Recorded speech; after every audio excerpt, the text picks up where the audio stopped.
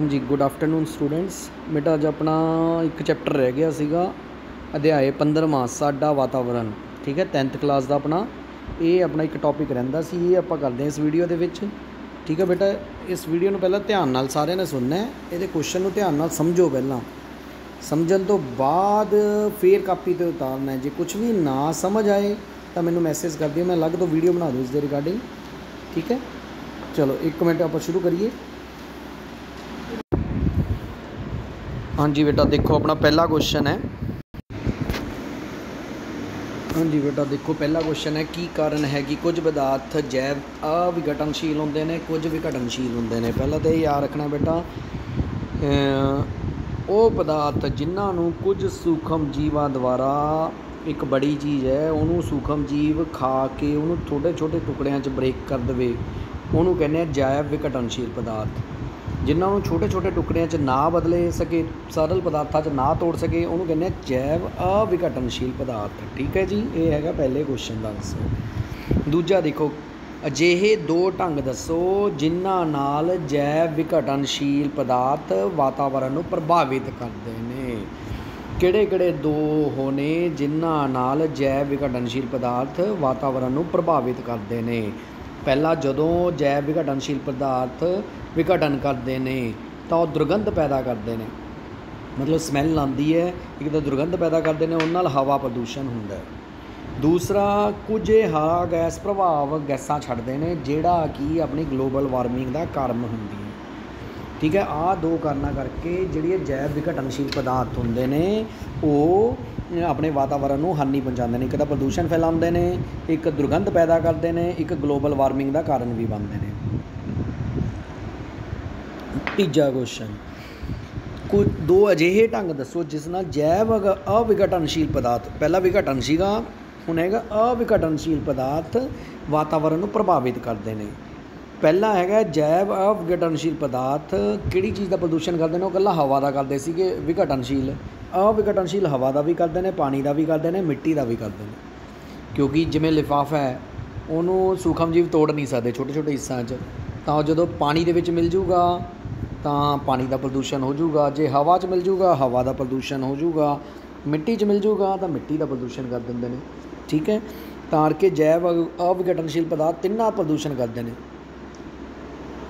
ਦੂਸਰਾ ਕਿ ਜਿਹੜੇ ਜੈਵ ਅਵਿਘਟਨਸ਼ੀਲ ਪਦਾਰਥ ਹੁੰਦਾ ਹੈ ਭੋਜਨ ਲੜੀ ਵਿੱਚ ਰਲ ਕੇ ਜੈਵਿਕ ਵਧਾਅ ਨੂੰ ਰੋਕ ਦਿੰਦੇ ਨੇ। ਜਿਵੇਂ ਆਪਾਂ ਨੂੰ ਪਤਾ ਹੈ ਕੁਝ ਐਜੇ ਜੀਵ ਜੰਤੂ ਨੇ ਜਿਹੜੇ ਘਾਹ ਖਾਂਦੇ ਨੇ।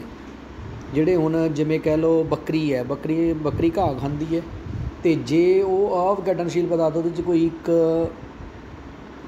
ਲਿਫਾਫਾ ਪਿਆ ਜੇ, ਉਹਨੂੰ ਵੀ ਖਾ ਲੂਗੀ ਤਾਂ ਇਹ ਵੀ ਹੋ ਸਕਦਾ ਹੈ, ਉਹਦੇ ਫੇਫੜੇ ਵਿੱਚ ਜਾ ਕੇ ਉਹ ਜੰਮ ਜੇ, ਉਹਨਾਂ ਨਾਲ ਉਹਦੀ ਮੌਤ ਵੀ ਹੋ ਜੇ। ਜੇ ਉਹਦੀ ਮੌਤ ਹੋ ਗਈ ਪ੍ਰੋਬਲਮ ਇਹ ਹੋ ਜਾਣਾ ਜਿਹੜਾ ਉਹ ਭੋਜਨ ਲੜੀ ਦਾ ਸਰਕਲ ਆ, ਉਹ ਟੁੱਟ ਜਾਊਗਾ। ਠੀਕ ਹੈ, ਇਸ ਲਈ ਜੈਵ ਅਵਿਘਟਨਸ਼ੀਲ ਪਦਾਰਥ ਇੱਕ ਤਾਂ ਪ੍ਰਦੂਸ਼ਣ ਪੈਦਾ ਕਰਦੇ ਨੇ, ਇੱਕ ਜੈਵਿਕ ਵਧਾਅ ਨੂੰ ਜਾਂ ਭੋਜਨ ਲੜੀ ਨੂੰ ਵੀ ਰੋਕ ਦਿੰਦੇ ਨੇ। ਕਲੀਅਰ ਅੱਗੇ। ਆਹਾਰੀ ਪੱਧਰ ਕੀ ਹੁੰਦਾ ਹੈ? ਉਹ ਪੱਧਰ, ਉਹ ਭੋਜਨ ਲੜੀ ਦਾ ਉਹ ਪੱਧਰ ਜਿਸ ਤੇ ਊਰਜਾ ਪੈਦਾ ਹੁੰਦੀ ਹੈ, ਉਹਨੂੰ ਆਪਾਂ ਆਹਾਰੀ ਪੱਧਰ ਕਹਿੰਦੇ ਨੇ। ਉਦਾਹਰਨ ਜਿਵੇਂ ਘਾਹ ਟਿੱਡਾ ਜਿਹੜਾ ਹੈਗਾ, ਘਾਹ ਨੂੰ ਖਾਂਦਾ, ਉਦੋਂ ਉਹਨੂੰ ਊਰਜਾ ਮਿਲਦੀ ਹੈ। ਘਾਹ ਦਾ ਟਿੱਡੇ ਨੂੰ ਅੱਗੇ ਡੱਡੂ ਖਾਂਦਾ, ਇੱਥੇ ਵੀ ਊਰਜਾ ਮਿਲਦੀ ਹੈ। ਦੋਨੋਂ ਆਹਾਰੀ ਪੱਧਰ ਨੇ। ਠੀਕ ਹੈ ਜੀ, ਅੱਗੇ ਪ੍ਰਸਥਿਤਿਕ ਪ੍ਰਬੰਧ ਵਿੱਚ ਨਿਖੇੜਕਾਂ ਦੀ ਕੀ ਭੂਮਿਕਾ ਹੈ? ਇਹ ਤੁਹਾਨੂੰ ਮੈਂ ਪਹਿਲੇ ਹੀ ਦੱਸਿਆ ਸੀਗਾ, ਨਿਖੇੜਕ ਕੀ ਹੁੰਦੇ ਨੇ? ਕੋਈ ਬੜੀ ਚੀਜ਼ ਨੂੰ ਐਜੇ ਸੂਖਮ ਜੀਵ ਹੁੰਦੇ ਨੇ, ਜਿਹੜੀ ਬੜੀ ਚੀਜ਼ ਨੂੰ ਕੋਈ ਛੋਟੇ ਛੋਟੇ ਸਰਲ ਪਦਾਰਥਾਂ ਦੇ ਵਿੱਚ ਤੋੜ ਦਿੰਦੇ ਨੇ, ਉਹਨੂੰ ਆਪਾਂ ਨਿਖੇੜਕ ਕਹਿੰਦੇ ਨੇ। ਨਿਖੇੜਕ ਪ੍ਰਸਥਿਤਿਕ ਪ੍ਰਬੰਧ ਲਈ ਬਹੁਤ ਜ਼ਰੂਰੀ ਨੇ, ਕਿਉਂਕਿ ਜਦੋਂ ਇਹ ਬੜੀ ਚੀਜ਼ ਨੂੰ ਛੋਟੇ ਛੋਟੇ ਹਿੱਸਿਆਂ 'ਚ ਤੋੜ ਦਿੰਦੇ ਨੇ, ਉਹ ਆਪਣੀ ਜਿਹੜੀ ਛੋਟੇ ਛੋਟੇ ਹਿੱਸੇ ਨੇ, ਉਹ ਆਪਣੇ ਵਰਤੋਂਯੋਗ ਉਪਯੋਗ ਦੇ ਵਿੱਚ ਲੈ ਕੇ ਆਏ ਜਾ ਸਕਦੇ ਨੇ। ਕੁਝ ਐਜੇ ਚੀਜ਼ਾਂ ਜਿਹੜੇ ਬੜੀ ਚੀਜ਼ਾਂ ਤਾਂ ਵਰਤ ਨਹੀਂ ਸਕਦੇ, ਬਟ ਜਦੋਂ ਸੂਖਮ ਜੀਵ ਉਹਨਾਂ ਨੂੰ ਕੀ ਕਹਿੰਦੇ ਨੇ, ਖਾ ਕੇ ਜਾਂ ਉਸ ਤੋਂ ਆਪਣੇ ਕੋਲ ਉਹਨਾਂ ਨੂੰ ਛੋਟੇ ਛੋਟੇ ਹਿੱਸਿਆਂ 'ਚ ਤੋੜ ਦਿੰਦੇ ਨੇ, ਜਿਹੜੇ ਕਿ ਅੱਗੇ ਉਪਯੋਗ ਦੇ ਵਿੱਚ ਲੈ ਕੇ ਆ ਸਕਦੇ ਆ ਤਾਂ ਕਿ ਪ੍ਰਸਥਿਤਿਕ ਪ੍ਰਬੰਧ ਵਿੱਚ ਨਿਖੇੜਕਾਂ ਦੀ ਬਹੁਤ ਜ਼ਿਆਦਾ ਜ਼ਰੂਰਤ ਹੁੰਦੀ ਹੈ ਇਹੀ ਲਿਖਿਆ ਨਿਖੇੜਕ ਉੱਪਰ ਉਹਨਾਂ ਸੂਖਮ ਜੀਵਾਂ ਨੂੰ ਕਹਿੰਦੇ ਹਨ, ਜੋ ਜੀਵਾਂ ਦੀ ਰਹਿੰਦ ਖੂੰਦ ਜਾਂ ਮਰੇ ਹੋਏ ਜੀਵਾਂ ਦੇ ਸਰੀਰਾਂ ਨੂੰ ਸਰਲ ਅਕਾਰਬਨਿਕ ਪਦਾਰਥਾਂ ਵਿੱਚ ਬਦਲ ਦਿੰਦੇ ਹਨ। ਜੋ ਮਿੱਟੀ ਵਿੱਚ ਰਲ ਜਾਂਦੇ ਹਨ ਅਤੇ ਪੌਦਿਆਂ ਨੂੰ ਮੁੜ ਉਪਯੋਗ ਵਿੱਚ ਲਿਆਂਦੇ ਜਾਂਦੇ ਹਨ। ਇਸ ਤਰ੍ਹਾਂ ਨਿਖੇੜਕ ਕਿਸੇ ਪ੍ਰਸਥਿਤਿਕ ਪ੍ਰਬੰਧ ਦੀ ਸਫ਼ਾਈ ਕਰਦੇ ਹਨ। ਠੀਕ ਹੈ? ਅੱਗੇ ਓਜ਼ੋਨ ਕੀ ਹੈ? ਓਜ਼ੋਨ ਦਾ ਸੂਤਰ ਪਤਾ ਹੋਣਾ ਹੈ O3 ਹੈ। ਓਜ਼ੋਨ ਨੂੰ ਐਵੇਂ ਲਿਖਦੇ ਨੇ। ਆਕਸੀਜਨ ਦੇ ਵਿੱਚ 13 ਪਲੱਸ ਹੁੰਦਾ ਹੈ। ਐਵੇਂ। ਤੇ ਓਜ਼ੋਨ ਪਰਤ ਕੀ ਹੈ? ਆ ਵਾਯੂਮੰਡਲ ਦੇ ਵਿੱਚ ਇੱਕ ਐਜੀ ਪਰਤ ਹੈ, ਜਿਹੜੀ ਸੂਰਜ ਤੋਂ ਕੁਝ ਪਰਾਵੈਂਗਣੀ ਹਾਨੀਕਾਰਕ ਕਿਰਨਾਂ ਆਉਂਦੀਆਂ ਜਿਹੜੀਆਂ ਧਰਤੀ ਤੇ ਪਹੁੰਚ ਕੇ ਆਪਾਂ ਨੂੰ ਕੈਂਸਰ ਵਰਗਾ ਬਿਮਾਰੀਆਂ ਦੇ ਸਕਦੀਆਂ। ਇਸ ਲਈ ਓਜ਼ੋਨ ਪਰਤ ਆਪਣੇ ਵਾਯੂਮੰਡਲ 'ਚ ਐਜੀ ਪਰਤ ਹੈ, ਜਿਹੜੀ ਹਾਨੀਕਾਰਕ ਕਿਰਨਾਂ ਨੂੰ ਧਰਤੀ ਤੇ ਪਹੁੰਚਣ ਨਹੀਂ ਦਿੰਦੀ। ਪਰ ਆਪਾਂ ਏਸੀ ਵਗੈਰਾ ਜਾਂ ਰੈਫਰੀਜਨੇਟਰ ਵਗੈਰਾ ਯੂਜ਼ ਕਰਨ ਲੱਗ ਗਏ ਹਾਂ, ਜਿਸ 'ਚ ਕਲੋਰੋਫਲੋਰੋਕਾਰਬਨ ਜਿਹੜੇ ਉਹ ਛੱਡਦੇ ਨੇ, ਜਿਹੜੇ ਪੁਰਾਣੇ ਟਾਈਮ 'ਚ ਤਾਂ ਜਿਹੜੇ ਏਸੀ ਸੀ, ਉਹ ਕਲੋਰੋਫਲੋਰੋਕਾਰਬਨ ਛੱਡਦੇ ਸੀ। ਉਹਨਾਂ ਨਾਲ ਜਿਹੜੀ ਓਜ਼ੋਨ ਪਰਤ ਹੈ, ਉਹ ਬਹੁਤ ਪਤਲੀ ਹੋ ਗਈ ਹੈ। ਈਵਨ ਉਹਦੇ ਵਿੱਚ ਗਲੀ ਵੀ ਨਿਕਲੀ ਆਈ ਹੈ। ਓਜ਼ੋਨ ਛੇਦ ਵੀ ਕਹਿ ਦਿੰਦੇ ਆ, ਜਿਸ ਦੇ ਕਾਰਨ ਓਜ਼ੋਨ ਗਲੀ ਨਿਕਲਿਆ ਆਈ ਜਿਸ ਦੇ ਕਾਰਨ ਆਪਾਂ ਇਹ ਕਹਿ ਸਕਦੇ ਹਾਂ ਕਿ ਹਾਨੀਕਾਰਕ ਪਰਾਵੈਂਗਨੀ ਕਿੰਨਾ ਧਰਤੀ ਤੇ ਪਹੁੰਚਦੀਆਂ ਪਈਆਂ ਤਾਂ ਹੀ ਕੈਂਸਰ ਦਾ ਕਾਰਨ ਹੋ ਰਿਹਾ ਏ ਜੀ। ਅੱਗੇ, ਤੁਸੀਂ ਕੂੜੇ ਕਰਕਟ ਦੇ ਨਿਪਟਾਰੇ ਦੀ ਸਮੱਸਿਆ ਨੂੰ ਘੱਟ ਕਰਨ ਲਈ ਕੀ ਯੋਗਦਾਨ ਪਾਓਗੇ? ਇੱਕ ਤਾਂ ਪਹਿਲੀ ਗੱਲ, ਆਪਾਂ ਜਦੋਂ ਵੀ ਕੂੜਾ ਕਰਕਟ ਹੋ ਜੇ ਉਹਨੂੰ ਖਤਮ ਕਰਨ ਦਾ ਸਭ ਤੋਂ ਵਧੀਆ ਤਰੀਕਾ ਹੈ, ਉਹਨੂੰ ਟੋਆ ਪੁੱਟ ਕੇ ਉਹਦੇ ਵਿੱਚ ਸੁੱਟ ਦਿਓ। ਉਹ ਤੋਂ ਖਾਦ ਤਿਆਰ ਕੀਤੀ ਜਾ ਸਕਦੀ ਹੈ। ਦੂਸਰਾ, ਆਪਾਂ ਤਿੰਨ ਆਰ ਦੇ ਸਿਧਾਂਤ ਤੇ ਚੱਲਾਂਗੇ। ਪਹਿਲਾ ਆਰ ਦਾ ਸਿਧਾਂਤ ਹੈ ਰਿਡਿਊਸ ਆ ਪਹਿਲੇ ਆਰ ਦਾ ਮਤਲਬ ਹੈ ਰਿਡਿਊਸ ਕਿ ਘੱਟ ਵਰਤੋਂ ਕਰਾਂਗੇ। ਦੂਜੇ ਆਰ ਦਾ ਮਤਲਬ ਹੈ ਰੀਸਾਈਕਲ ਕਰਾਂਗੇ। ਮੁੜ ਵਰਤੋਂ 'ਤੇ ਲੈ ਕੇ ਆਵਾਂਗੇ। ਤੇ ਫਿਰ ਤੀਜੇ ਆਰ ਦਾ ਮਤਲਬ ਹੈ ਰੀਯੂਜ਼ ਕਰਾਂਗੇ। ਠੀਕ ਹੈ? ਤਿੰਨ ਆਰ ਆਪਾਂ ਯੂਜ਼ ਕਰਾਂਗੇ ਕਿ ਇਹਨਾਂ ਨਾਲ ਆਪਣੇ ਤਿੰਨ ਆਰ ਦੇ ਸਿਧਾਂਤ ਨਾਲ ਆਪਾਂ ਕੂੜੇ ਕਰਕਟ ਦਾ ਨਿਪਟਾਰਾ ਕਰਾਂਗੇ। ਅਗਲਾ। ਅੱਗੇ ਆ ਜਾਓ ਨਾ ਅਭਿਆਸ ਦੇ। ਜਿਵੇਂ ਪਹਿਲਾ ਕੁਐਸਚਨ ਹੈ ਕਿ ਕਿਹੜੇ ਸਮੂਹਾਂ ਵਿੱਚ ਕੇਵਲ ਜੈਵ ਵਿਘਟਨਸ਼ੀਲ ਪਦਾਰਥ ਹਨ? ਦੇਖੋ, ਇਹ ਸਾਰੇ ਜੈਵ ਵਿਘਟਨਸ਼ੀਲ ਪਦਾਰਥ ਨੇ, ਇਹਨਾਂ 'ਚ ਨਹੀਂ ਹੈ। ਪਲਾਸਟਿਕ ਅਵਿਘਟਨਸ਼ੀਲ ਪਦਾਰਥ ਹੈ, ਇਹਨੂੰ ਛੱਡ ਕੇ ਬਾਕੀ ਸਾਰਿਆਂ 'ਚ ਵਿਘਟਨਸ਼ੀਲ ਪਦਾਰਥ ਨੇ। ਦੂਜਾ, ਕਿਹੜੇ ਭੋਜਨ ਲੜੀ ਦਾ ਨਿਰਮਾਣ ਕਰਦੇ ਨੇ? ਦੇਖੋ, ਆਪਾਂ ਨੂੰ ਪਤਾ ਹੈ, ਘਾਹ ਜਿਹੜਾ ਹੈਗਾ, ਉਹਨੂੰ ਬੱਕਰੀ ਖਾਂਦੀ ਹੈ। ਬੱਕਰੀ ਅੱਗੇ ਮਨੁੱਖ, ਬੱਕਰੀ ਨੂੰ ਮਨੁੱਖ ਖਾਂਦਾ ਤਾਂ ਇਹ ਭੋਜਨ ਲੜੀ ਬਣੀ ਹੋਈ ਹੈ। ਠੀਕ ਹੈ ਜੀ, ਇਹਦਾ ਆਨਸਰ ਬੀ ਪਾਰਟ ਹੈ। ਅੱਗੇ, ਕਿਹੜਾ ਵਾਤਾਵਰਣੀ ਪੱਖੀ ਵਿਵਹਾਰ ਦਸਾਉਂਦਾ ਹੈ? ਜਦੋਂ ਕਹਿੰਦਾ ਤੁਸੀਂ ਬਾਜ਼ਾਰ ਜਾਣਾ ਕਹਿੰਦਾ ਥੈਲਾ ਲੈ ਕੇ ਜਾਓ, ਇਹ ਤਾਂ ਸਹੀ ਗੱਲ ਹੈ। ਅਤੇ ਜਦੋਂ ਵੀ ਕੋਈ ਕੰਮ ਪੂਰਾ ਹੋ ਜਾਂਦਾ ਜਿਹੜੇ ਕਮਰੇ 'ਚ ਬੈਠੇ ਉਹਦੇ ਲਾਈਟਾਂ ਵਗੈਰਾ ਪੱਖੇ ਵਗੈਰਾ ਬੰਦ ਕਰ ਦਿਓ, ਇਹ ਵੀ ਸਹੀ ਗੱਲ ਹੈ। ਅਤੇ ਤੁਸੀਂ ਸਕੂਟਰ ਤੇ ਸਕੂਲ ਨਾ ਜਾਓ, ਆਪਣਾ ਪੈਦਲ ਜਾਓ ਜੇ ਨੇੜੇ। ਇਸ ਦਾ ਮਤਲਬ ਇਹ ਚਾਰੋਂ ਦੇ ਚਾਰੋਂ ਸਹੀ ਨੇ, ਸੱਸਾ ਭਾਗ ਹੈ ਦਾ ਉੱਤਰ। ਕੀ ਹੋਵੇਗਾ ਜੇ ਅਸੀਂ ਇੱਕ ਹਾਰੀ ਪੱਧਰ ਦੇ ਸਾਰੇ ਜੀਵਾਂ ਨੂੰ ਮਾਰ ਦੇਵਾਂਗੇ? ਜੇ ਅਸੀਂ ਇੱਕ ਹਾਰੀ ਪੱਧਰ ਦੇ ਸਾਰੇ ਜੀਵਾਂ ਨੂੰ ਮਾਰ ਦਾਂਗੇ, ਤਾਂ ਸਾਡਾ ਪ੍ਰਸਥਿਤਿਕ ਪ੍ਰਬੰਧ ਵਿਗੜ ਜਾਊਗਾ। ਉਦਾਹਰਨ ਦੇ ਤੌਰ ਤੇ ਜਿਵੇਂ ਆ ਆਪਣੇ ਕੋਲ ਭੋਜਨ ਲੜੀ ਸੀਗੀ, ਜੇ ਇਹਦੇ ਵਿੱਚ, ਜੇ ਮੰਨ ਲਓ ਘਾਹ ਹੀ ਨਹੀਂ ਰਿਹਾ, ਤਾਂ ਆਪਣੇ ਜਿਹੜੇ ਸ਼ਾਕਾਹਾਰੀ ਪੋਤ, ਜਿਹੜੇ ਟਿੱਡੇ ਵਗੈਰਾ ਨੇ ਜਿਹੜਾ ਘਾਹ ਖਾਂਦੇ, ਉਹਨਾਂ ਨੂੰ ਘਾਹ ਘਾਹ ਹੀ ਨਹੀਂ ਮਿਲਣਾ ਤਾਂ ਉਹ ਮਰ ਜਾਣਗੇ। ਜੇ ਇਹ ਮਰ ਗਏ, ਇਹੀ ਨਹੀਂ ਹੋਣਗੇ, ਫਿਰ ਡੱਡੂ ਕਿਵੇਂ ਮਾਸ ਖਾ ਉਹ ਟਿੱਡੇ ਖਾਣਗੇ। ਤਾਂ ਪ੍ਰਸਥਿਤਿਕ ਪ੍ਰਬੰਧ ਵਿਗੜ ਜਾਊਗਾ। ਤਾਂ ਇਸ ਲਈ ਆਹਾਰੀ, ਹਰ ਇੱਕ ਆਹਾਰੀ ਪੱਧਰ ਨੂੰ ਹੋਣਾ ਜ਼ਰੂਰੀ ਹੈ।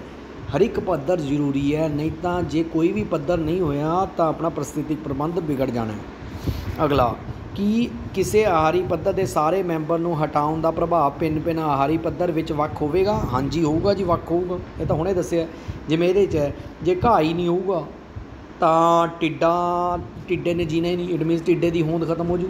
ਜੇ ਟਿੱਡੇ ਦੀ ਹੋਂਦ ਖਤਮ ਹੋ ਗਈ, ਡੱਡੂ ਦੀ ਹੋਂਦ ਖਤਮ ਹੋ ਗਈ, ਕਿਉਂਕਿ ਡੱਡੂ ਨੇ ਕਿ ਟਿੱਡੇ ਨੂੰ ਖਾਣਾ।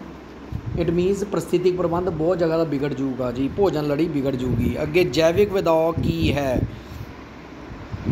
ਜੈਵਿਕ ਵਿਧਾਅ ਦਾ ਮਤਲਬ ਤੁਹਾਨੂੰ ਮੈਂ ਪਹਿਲਾਂ ਹੀ ਦੱਸਿਆ ਕਿ ਹਰ ਇੱਕ ਉਹ ਭੋਜਨ ਲੜੀ ਦਾ ਪੜਾਅ ਜਿੱਥੇ ਆਪਾਂ ਨੂੰ ਊਰਜਾ ਮਿਲਦੀ ਹੈ, ਉਸ ਨੂੰ ਆਪਾਂ ਜੈਵਿਕ ਪੱਧਰ ਦਾ ਪੜਾਅ ਕਹਿੰਦੇ ਨੇ।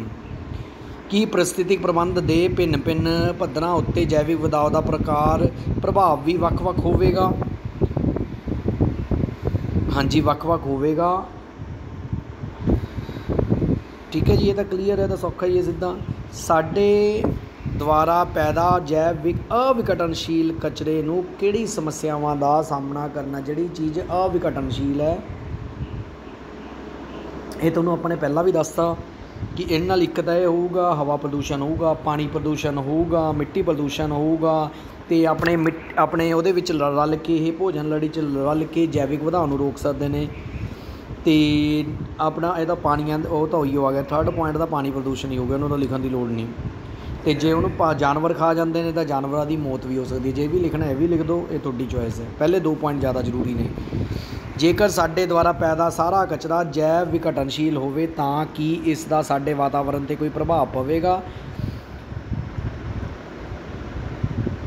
ਹਾਂਜੀ, ਹੋਊਗਾ, ਪ੍ਰਭਾਵ ਵਾਤਾਵਰਣ ਤੇ ਪ੍ਰਭਾਵ ਪਊਗਾ, ਕਿਉਂ ਪਊਗਾ, ਕਿ ਇਹਦਾ ਹੁਣ ਸਹੀ ਢੰਗ ਨਾਲ, ਜੇ ਸਾਰੀ ਚੀਜ਼ ਵਿਘਟਨਸ਼ੀਲ ਹੈ, ਜਿਹੜਾ ਆਪਣਾ ਕੂੜਾ ਕਰਕਟ ਵਿਘਟਨਸ਼ੀਲ ਹੈ, ਤਾਂ ਆਪਾਂ ਨੂੰ ਇਹਦਾ ਪ੍ਰੋਪਰ ਨਿਪਟਾਰਾ ਕਰਨਾ, ਸਹੀ ਤਰੀਕੇ ਨਾਲ ਨਿਪਟਾਰਾ ਕਰਨਾ ਵੀ ਆਂਦਾ ਹੋਣਾ ਚਾਹੀਦਾ ਕਿਉਂਕਿ ਜੇ ਸਹੀ ਤਰੀਕੇ ਨਾਲ ਨਿਪਟਾਰਾ ਨਾ ਹੋਇਆ ਤਾਂ ਇੱਕ ਤਾਂ ਇਹਨੇ ਪ੍ਰਦੂਸ਼ਣ ਦਾ ਕਾਰਨ ਬਣਨਾ ਹੈ। ਦੂਸਰਾ ਇਹ ਤੋਂ ਕਈ ਤਰ੍ਹਾਂ ਦੀਆਂ ਬਿਮਾਰੀਆਂ ਵੀ ਪੈਦਾ ਹੋ ਸਕਦੀਆਂ ਕਿਉਂਕਿ ਇੱਥੇ ਮੱਛੀ ਮ- ਮੱਖੀਆਂ ਵਗੈਰਾ ਪੈਦਾ ਹੋਣਗੀਆਂ। ਅੱਗੇ ਓਜ਼ੋਨ ਪਰਤ ਦੀ ਹਾਨੀ ਸਾਡੇ ਲਈ ਕਿਉਂ ਚਿੰਤਾ ਹੈ? ਕਿਉਂਕਿ ਆਪਾਂ ਨੂੰ ਪਤਾ, ਆਪਾਂ ਰੈਫਰੀਜਰੇਟਰ ਏਸੀ ਵਗੈਰਾ ਯੂਜ਼ ਕਰਦੇ ਆ ਉਹ ਕਲੋਰੋਫਲੋਰੋਕਾਰਬਨ ਛੱਡਦੇ ਨੇ, ਜਿਹੜਾ ਕਿ ਓਜ਼ੋਨ ਪਰਤ ਨੂੰ ਪਤਲੀ ਕਰਦੇ ਪਏ ਨੇ। ਈਵਨ ਉਹਦੇ ਵਿੱਚ ਛੇਦ ਵੀ, ਗਲੀ ਵੀ ਨਿਕਲ ਆਈ ਹੈ। ਤਾਰ ਕੇ ਓਜ਼ੋਨ ਪਰਤ ਬਹੁਤ ਪਤਲੀ ਹੋ ਗਈ ਹੈ। ਇਸ ਲਈ ਆਪਾਂ ਨੂੰ ਉਹਨੂੰ ਕੀ ਕਦਮ ਚੱਕਣੇ ਨੇ ਆਪਣੇ ਸੰਯੁਕਤ ਰਾਸ਼ਟਰ ਵਾਤਾਵਰਣ ਪ੍ਰੋਗਰਾਮ ਨੇ ਕਲੋਰੋਫਲੋਰੋਕਾਰਬਨ ਜਿਹੜੇ ਵੀ ਏਸੀ ਵਗੈਰਾ ਜਾਂ ਰੈਫਰੀਜਰੇਟਰ ਵਗੈਰਾ ਛੱਡਦੇ ਸੀ, ਉਹਨਾਂ ਤੇ ਰੋਕ ਲਾ ਦਿੱਤੀ ਹੈ। ਅੱਜ ਕੱਲ੍ਹ ਦੇ ਏਸੀ 'ਚ ਕਲੋਰੋਫਲੋਰੋਕਾਰਬਨ ਨਹੀਂ ਨਿਕਲਦੇ। ਠੀਕ ਹੈ ਜੀ, ਹਰਾ ਗ੍ਰੀਨ ਹਾਊਸ ਪ੍ਰਭਾਵ ਕੀ ਹੈ? ਠੀਕ ਹੈ ਗ੍ਰੀਨ ਹਾਊਸ ਪ੍ਰਭਾਵ ਕੀ ਹੈ? ਕਿ ਹਵਾ ਆਪਣਾ, ਜਦੋਂ ਆਪਾਂ ਨੂੰ ਪਤਾ ਨਾ, ਸੂਰਜ ਦੀਆਂ ਕਿਰਨਾਂ ਕੁਝ ਦਾ ਲਾਭਦਾਇਕ ਹੁੰਦੀਆਂ, ਕੁਝ ਹਾਨੀਕਾਰਕ ਹੁੰਦੀਆਂ ਹੈ ਜਿਹੜੀਆਂ ਆ ਆਪਣੀ ਧਰਤੀ ਹੈ, ਇਹਦੇ ਦੁਆਲੇ ਦੁਆਲੇ ਇੱਕ ਪਰਤ ਹੈ ਓਜ਼ੋਨ ਪਰਤ। ਜਦੋਂ ਸੂਰਜ ਦੀਆਂ ਕਿਰਨਾਂ ਇਹਦੇ ਚੋਂ ਨਿਕਲਦੀਆਂ ਪਰਾਵਿੰਗਨੀ ਕਰਨਾ ਤੇ ਇਹਦੇ ਅੰਦਰ ਸੋਖ ਲੈਂਦਾ ਹੈ। ਜਿਹੜੀ ਹਾਨੀਕਾਰਕ ਕਿਰਨਾਂ ਉਹ ਧਰਤੀ ਤੇ ਪਹੁੰਚ ਜਾਂਦੀਆਂ ਧਰਤੀ ਤੇ ਪਹੁੰਚ ਕੇ ਧਰਤੀ ਦੇ ਆਲੇ ਦੁਆਲੇ ਵਾਤਾਵਰਣ ਦੇ ਵਿੱਚ ਇੱਕ ਗੈਸ ਹੈਗੀ ਹੈ, ਜਿਹੜੀ ਹੈਗੀ ਹੈ ਕਾਰਬਨ ਡਾਈਆਕਸਾਈਡ ਗੈਸ ਹੈ। ਠੀਕ ਹੈ? ਕਾਰਬਨ ਡਾਈਆਕਸਾਈਡ ਗੈਸ ਹੋਗੀ ਨਾਈਟ੍ਰੋਜਨ ਡਾਈਆਕਸਾਈਡ ਗੈਸ ਹੋਗੀ ਇਹ ਜਦੋਂ ਧਰਤੀ ਤੇ ਉਹ ਕਿਰਨਾਂ ਪਹੁੰਚਣਗੀਆਂ, ਹਾਨੀਕਾਰਕ ਕਿਰਨਾਂ ਪਹੁੰਚਣਗੀਆਂ ਤਾਂ ਜਿਹੜੀਆਂ ਇਹ ਦੋ ਗੈਸਾਂ ਉਹਨੂੰ ਸੋਖ ਲੈਣਗੀਆਂ ਅਤੇ ਉਹਦੇ ਸੋਖਣ ਨਾਲ ਆਪਣੀ ਧਰਤੀ ਦਾ ਵਾਤਾਵਰਨ ਗਰਮ ਹੋ ਜਾਊਗਾ। ਇਸ ਨੂੰ ਗਲੋਬਲ ਵਾਰਮਿੰਗ ਵੀ ਕਹਿੰਦੇ ਨੇ ਤੇ ਇਸ ਪ੍ਰੋਸੈਸ ਨੂੰ ਆਪਾਂ ਹਰਾ ਘਰ ਪ੍ਰਭਾਵ ਕਹਿੰਦੇ ਨੇ। ਠੀਕ ਹੈ, ਜਦੋਂ ਧਰਤੀ ਦਾ ਵਾਤਾਵਰਨ ਗਰਮ ਹੋ ਜਾਂਦਾ ਹੈ ਉਸ ਨੂੰ ਆਪਾਂ ਗ੍ਰੀਨ ਹਾਊਸ ਪ੍ਰਭਾਵ ਕਹਿੰਦੇ ਨੇ। ਤੇ ਲਾਸਟ ਕੁਐਸਚਨ ਹੈ ਬੇਟਾ, ਧਰਤੀ ਦੇ ਪ੍ਰਦੂਸ਼ਣ ਗਲੋਬਲ ਵਾਰਮਿੰਗ ਕੀ ਹੈ? ਜਦੋਂ ਆਪਾਂ ਨੂੰ ਪਤਾ, ਧਰਤੀ ਦਾ ਪ੍ਰਦੂਸ਼ਣ ਵੱਧਦਾ ਹੈ ਤਾਂ ਹਰਾ ਗ੍ਰਹਿ ਪ੍ਰਭਾਵ ਵੀ ਵੱਧਦਾ ਹੈ ਕਿਉਂਕਿ ਜੇ ਪ੍ਰਦੂਸ਼ਣ ਵਧੂਗਾ ਕਾਰਬਨ ਡਾਈਆਕਸਾਈਡ ਗੈਸ ਦੀ ਮਾਤਰਾ ਵਧੂਗੀ ਜਿਸ ਨਾਲ ਹਰਾ ਗ੍ਰਹਿ ਪ੍ਰਭਾਵ ਵਧੂਗਾ ਜਿਸ ਨਾਲ ਆਪਣੇ ਧਰਤੀ ਦਾ ਤਾਪਮਾਨ ਹੌਲੀ ਹੌਲੀ ਵੱਧਦਾ ਜਾਊਗਾ। ਜੇ ਵੱਧ ਗਿਆ ਤਾਂ ਗਲੋਬਲ ਵਾਰਮਿੰਗ ਹੋ ਜਾਊਗੀ ਕਿ ਆਪਣਾ ਧਰਤੀ ਦਾ ਵਾਤਾਵਰਣ ਇੰਨਾ ਗਰਮ ਹੋ ਜਾਊਗਾ ਕਿ ਜਿਹੜੇ ਗਲੇਸ਼ੀਅਰ ਦੇ ਵਿੱਚ ਜਿਹੜੀ ਬਰਫ਼ ਹੈਗੀ ਹੈ, ਜੰਮੀ ਹੋਈ ਹੈ ਉਹ ਪਿਘਲ ਜੂ ਤਾਂ ਉਹ ਹੜ੍ਹ ਆ ਜੂਗੀ ਤਾਂ ਆਪਣਾ ਪੂਰਾ ਮੁਲਕ ਤਬਾਹ ਤਬਾਹ ਹੋ ਸਕਦਾ ਇਸ ਲਈ ਗਲੋਬ ਆਹਾ ਗਲੋਬਲ ਵਾਰਮਿੰਗ ਨੂੰ ਰੋਕਣਾ ਪੈਣਾ। ਕਿਵੇਂ ਰੋਕਾਂਗੇ, ਆਪਾਂ ਪ੍ਰਦੂਸ਼ਣ ਘੱਟ ਕਰੀਏ। ਠੀਕ ਹੈ ਜੀ? ਇਹੀ ਮੇਨ ਕਿ ਕਾਰਨ ਹੈ। ਠੀਕ ਹੈ ਜੀ? ਲੋ ਬੇਟਾ, ਇੰਨਾ ਕੀ ਸੀਗਾ, ਹੁਣ ਇਹਨੂੰ ਵੀਡੀਓ ਨੂੰ ਧਿਆਨ ਨਾਲ ਸੁਣ ਲਿਓ। ਜੇ ਕਿਤੇ ਕੋਈ ਪ੍ਰੋਬਲਮ ਹੋਈ, ਮੈਨੂੰ ਮੈਸੇਜ ਕਰ ਦਿਓ। ਠੀਕ ਹੈ? ਚਲੋ ਥੈਂਕ ਯੂ